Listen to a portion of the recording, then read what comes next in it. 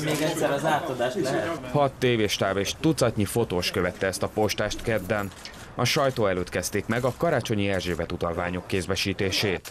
A nyugdíjasok 10 ezer forintot kapnak utalványban. Még marad 600 forint. Ezt a vásárlásnál lehet készpénz helyett használni. Az állami utalványok 2012-ben jelentek meg, akkor a kormány praktikusabb és hatékonyabb kafetéria rendszert ígért a korábbi helyett. A rendszernek az előnye a rugalmasság, a biztonság, a kártya elterjedésnek az elősegítése. Azelőtt a kafetéria utalványokat magáncégek forgalmazták. Az ő utalványaik adóját azonban drasztikusan megemelték. Emiatt a három cég kivonult Magyarországról és beperelte a magyar államot. Az Európai Bíróság februárban megállapította, hogy a magyar kormány uniós jogot sértett, mert a francia cégek számára nem biztosított azonos feltételeket.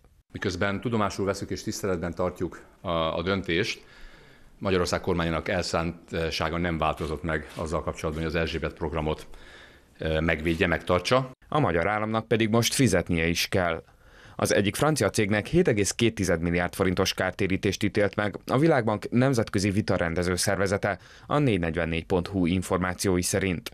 A demokratikus koalíció arra számít, hogy a másik két cég is nyerni fog, a magyar adófizetők pedig milliárdokat bukhatnak. Az Orbán kormány azért csak, hogy néhány hozzá közel álló vállalkozónak a zsebébe juttassa a pénzt, még egyszer mondom, 21 milliárd forintot von ki a magyar adófizetők zsebéből.